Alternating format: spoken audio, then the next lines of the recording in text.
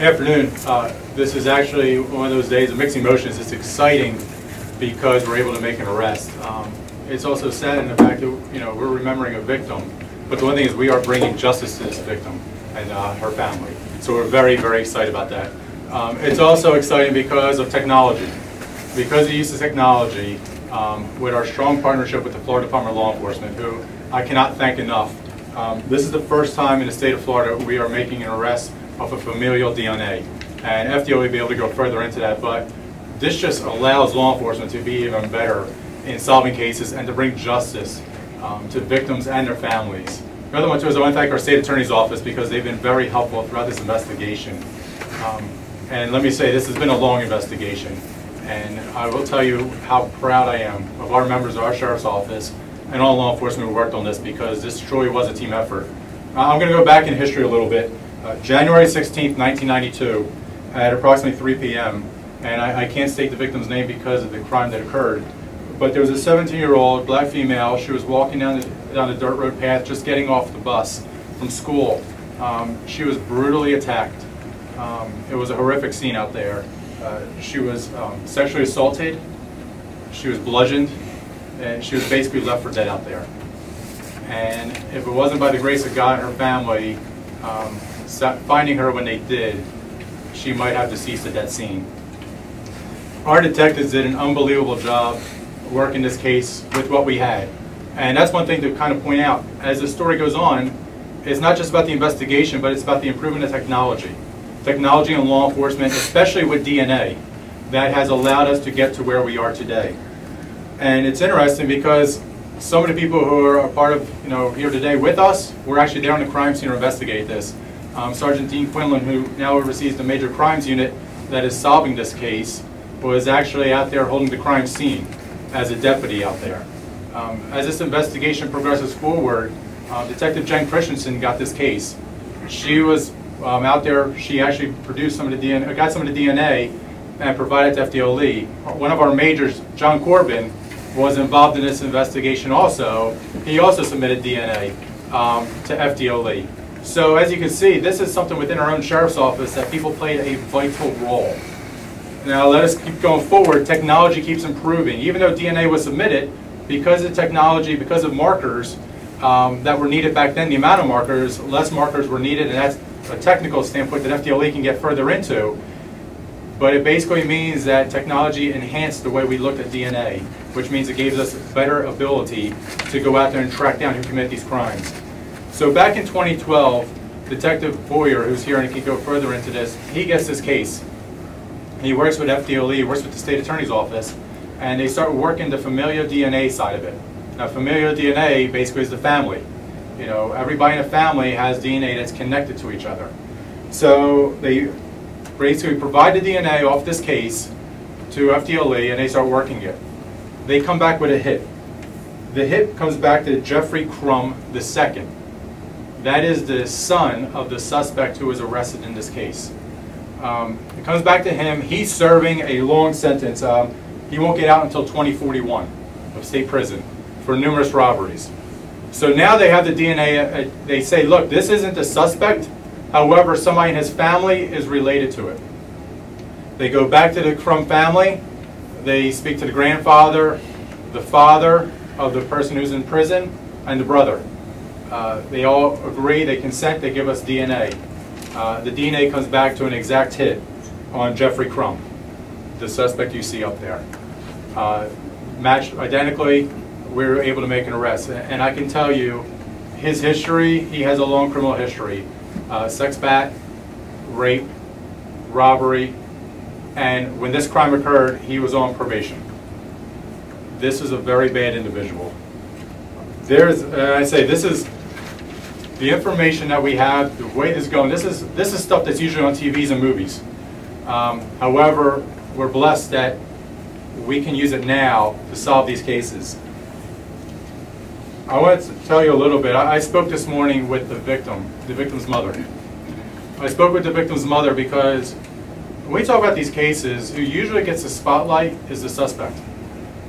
But I wanted to talk to her because after all this time, she deserved, you know, to make sure that the story of her daughter is out there. the story of the victim.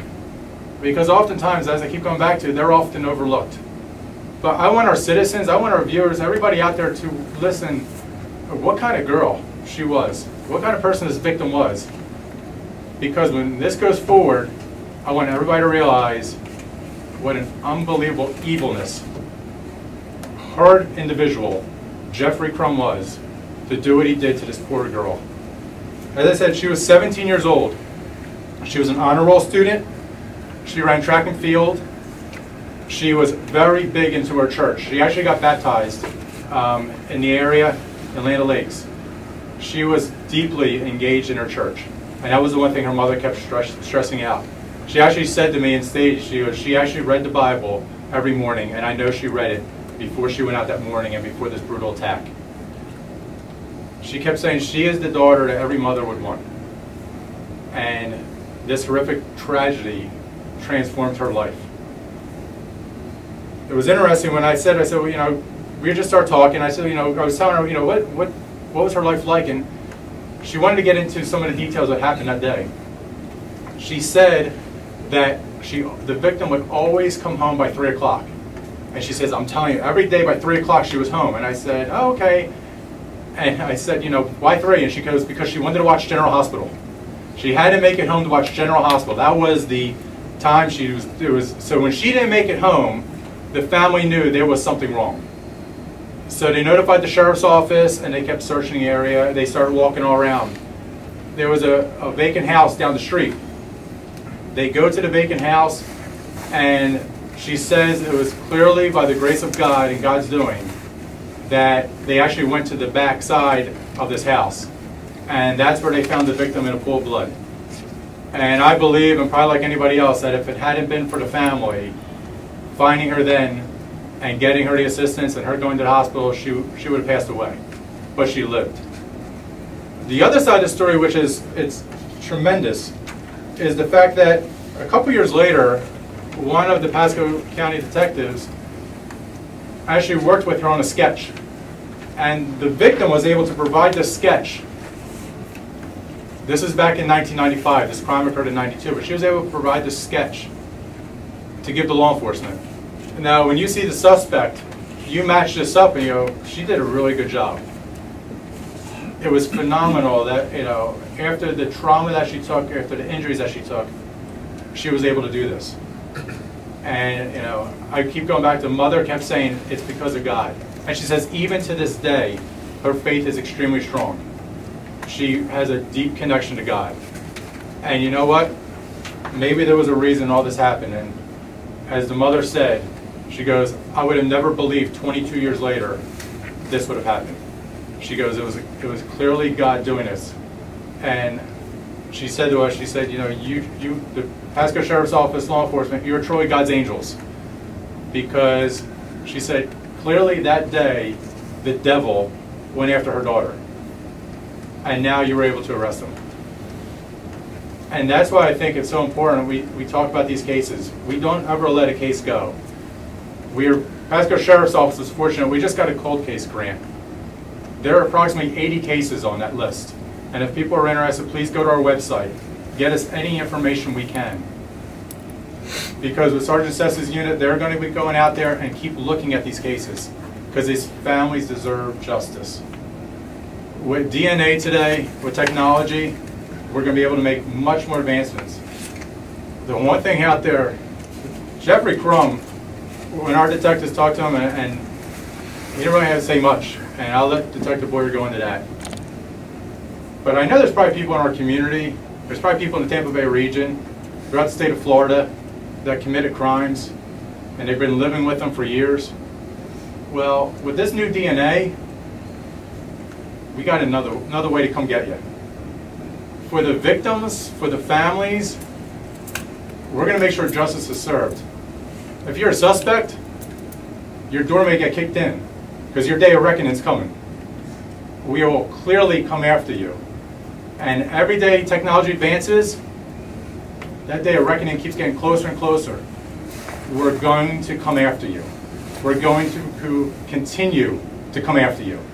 Technology is allowing that and it's our persistency and relentlessness. because those families deserve it. Those victims deserve it. I, I, I can't say enough how proud I am working with FDLE, of our detectives. This is one of those cases that clearly touched the lives of many of us. And for the victim and the family of the victim, you know, we're happy to bring them to justice. We know there are numerous other victims out there, families, that are seeing this and providing them hope. And my message to you is the information that we are obtaining from this case, we are going to look at other cases. We are going to work with other law enforcement agencies to see what else this evil individual had done. We are going to put all the pieces together and we're going to follow the facts. We're going to follow the information where it goes. But we're not going to quit. We are going to keep coming. And as I keep saying, your day of reckoning will be coming. With that, Detective Ward. Thank you very much, Sheriff. You know, I feel that this, uh, this investigation was like a relay race, and I just feel very fortunate and blessed to be holding the baton at the end of the race. Uh, My coworkers like Jen Christensen, Alan Proctor, and all those other uh, detectives in the sheriff's office who have um, taken a vested interest in this case over the years should definitely be recognized.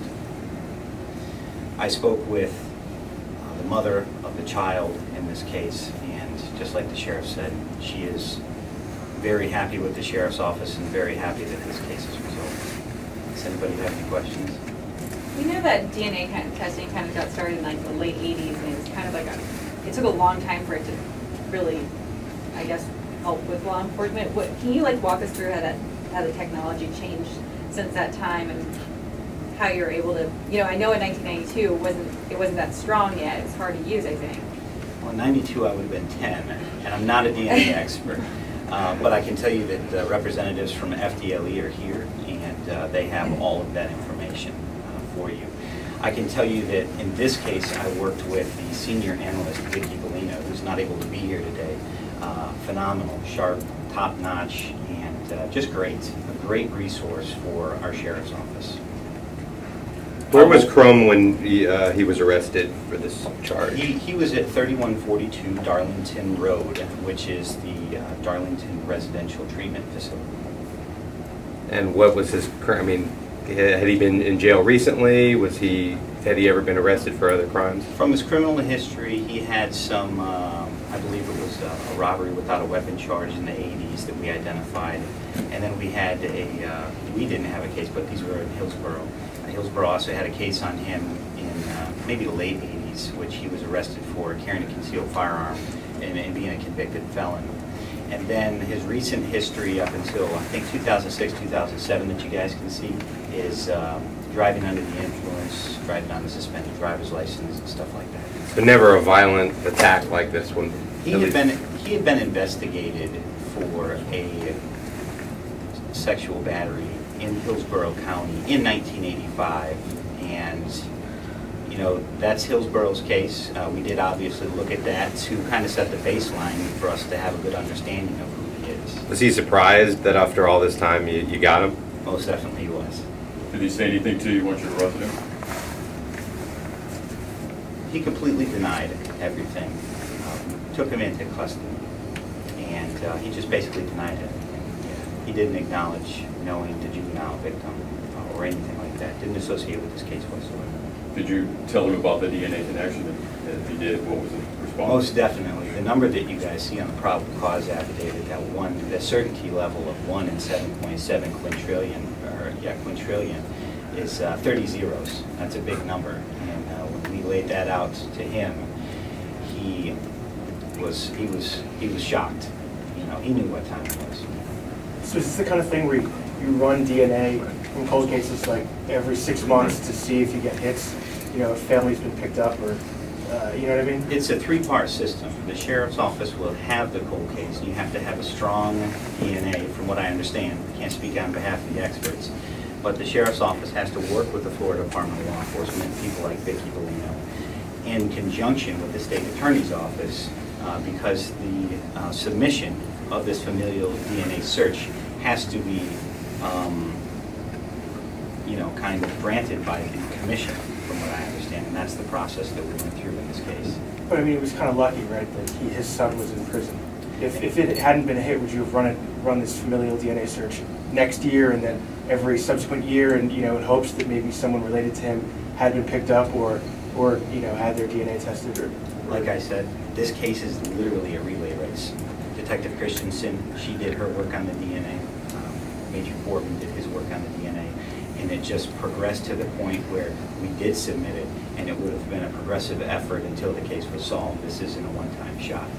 You know, and as this technology um, becomes better and better, and maybe faster, you know, I mean, the- the opportunities are great, like the sheriff said. You can't hide it from the system just by yourself. Now there's different opportunities for law enforcement to identify suspects. Did the victim suffer permanent uh, complications and injuries from the attack, and how was she doing now? You know, I'm not really able to talk about the victim, given the seriousness of the, uh, the- the case at hand, but, you know, if, if you have the opportunity to discuss that um, with the family, um, you know, I, I- I believe that they would be able to explain that to you a little bit better. There were serious injuries, I can tell you that, which is very concerning, and I think you guys will have a good understanding of that when you have the conversation with the family. Have the, uh, you, the expert, they're the experts on DNA. If you want to come forward and explain the whole DNA process and. Um, The um, familial search, in answer to your question, the Florida Department of Law Enforcement, once a sample or a case has been submitted for familial searching, the policy is if there is no hits that are identified that lead to an investigative lead for the agency, the Florida Department of Law Enforcement will repeat that search every year until there is a solution to the case. Um, So that is an ongoing investigation. What familial DNA searching is, it allows us to use the convicted offender uh, or qualifying offender DNA database to identify potential suspects in a case based on the relationship that they may have to an individual in the database. Um, Because the DNA is based on the fact that there is going to be an association, that individuals that are related to each other are going to have certain characteristics of their DNA in common, if there is an individual in the offender database that is related to an individual who have committed a crime, the familial search has the ability to possibly identify that individual. It is, um, so once the hits have been identified, we will submit that information back to the law enforcement agency. They will have to then make the determination on whether or not that information is valuable to their investigation and then proceed with the arrest or the prosecution as warranted.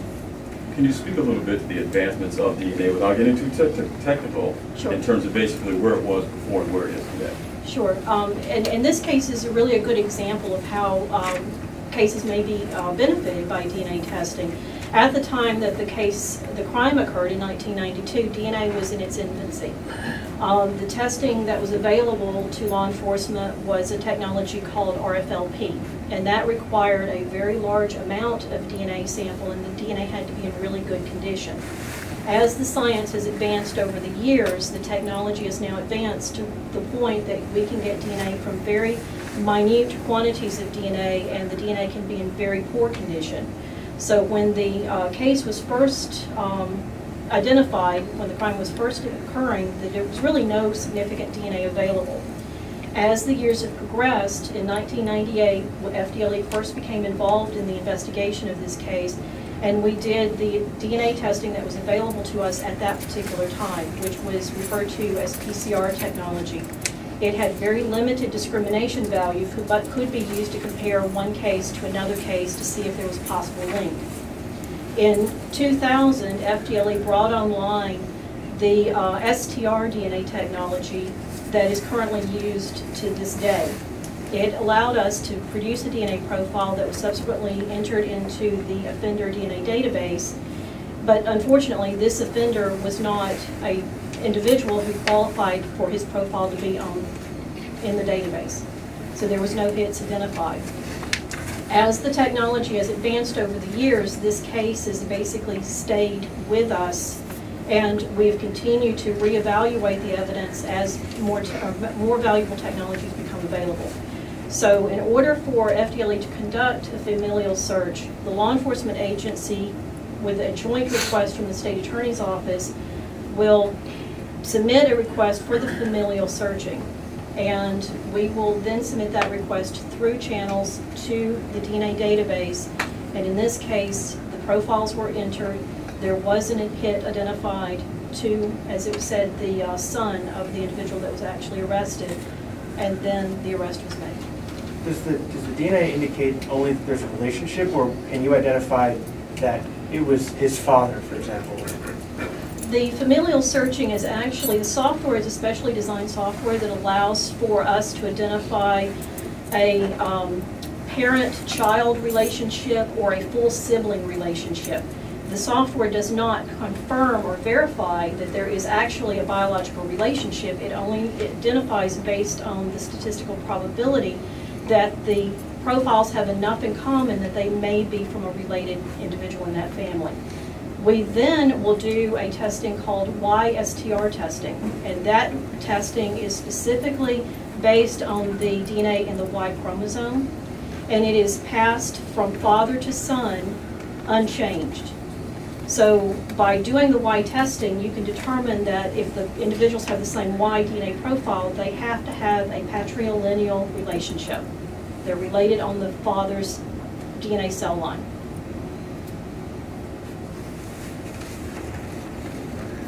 Could you say and spell your name, please?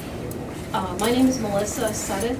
It's M-E-L-I-S-S-A-S-U-D-D-E-T-H. Detective Boyer, what was your first name? David? David? Yes. B-O-Y-E-R? Yes, Could you say one more time where the suspect was arrested, where he was when he was arrested? He was arrested. He was arrested at the Darlington Residential Treatment Facility at 3142 Darlington Road in Holiday. Is that a rehab, a drug rehab, or? It's a residential treatment facility. Can't necessarily talk about what he was in there for. Any other questions? All right. Thank you, on everybody.